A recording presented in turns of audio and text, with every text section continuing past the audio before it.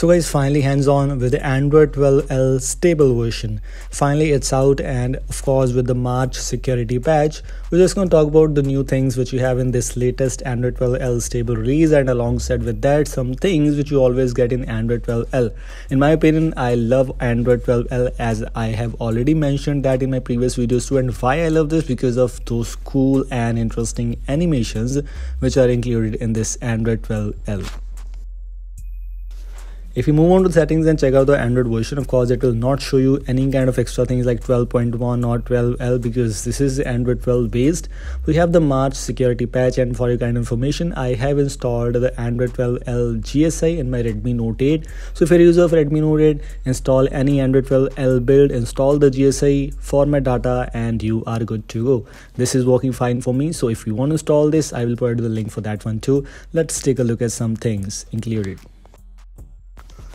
First change which I found after installing Android 12L if you are able to see in the sound and vibration if I press the volume panel you can see this this panel looks different here let me show you that I have installed Android 12 in my Redmi Note 10 Pro also and let me show you there that how this is looking like. As you can see by default in Android 12 you have this kind of UI but in Android 12 L stable version. Now this UI is revamped and it's almost same like Android 11 or other things. You can see the big bars are now changed to small and the see more option is now changed to the settings button.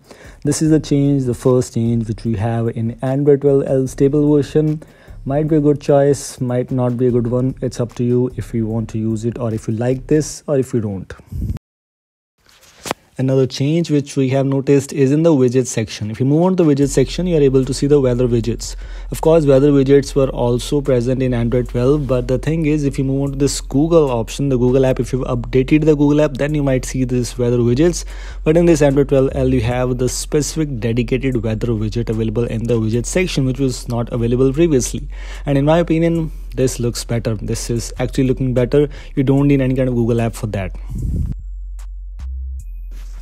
another thing if you're able to notice here if i click the internet tile you can see animations. Of course this is already included in android 12l updates. But if you're able to see this kind of pop-up which is now at the center of the screen and the screen size is a little bit large the menu or pop-up size is actually large which was not that large previous times in android 12l beta updates 1 2 or 3 but in this update now we have this better ui things and better stability i think so looks like one more thing if you're able to notice here if you see that i don't have any kind of notifications available so you can see the no notification text is at the center place if we have don't no notifications available. But if you compare it with the normal android 12 you can see no notification text is right behind right down the brightness slider and which is not in the android 12 l case. We have the center no notification text available. This looks interesting and i think so. This is a very good change including all those changes android 12l has this kind of ui available. If you move and check out the wallpapers you don't need to enter the wallpapers and style app. You might see as you can see you can simply switch between these wallpapers. Very easily the five recent wallpapers are always included. Android 12l always has very very smooth animations. If you're able to see the power menu animations i just love this. And if you are a user who always loves to use animations who loves better animations then android 12l might be a very good choice for you. As you can see the quick settings panel has very good animations.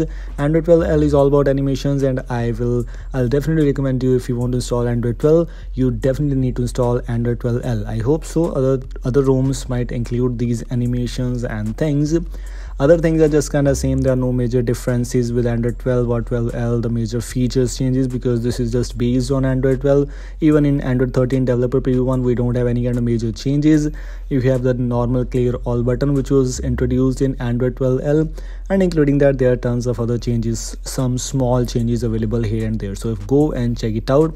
Some things i've already shown you. You also have this option if i move on here the split top option is there which was available as split screen in android 12 and some other extra options already available.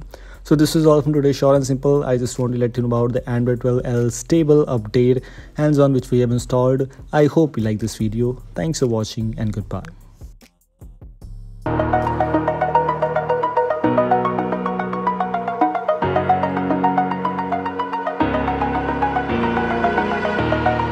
Over the edge. Feel like I'm floating through the air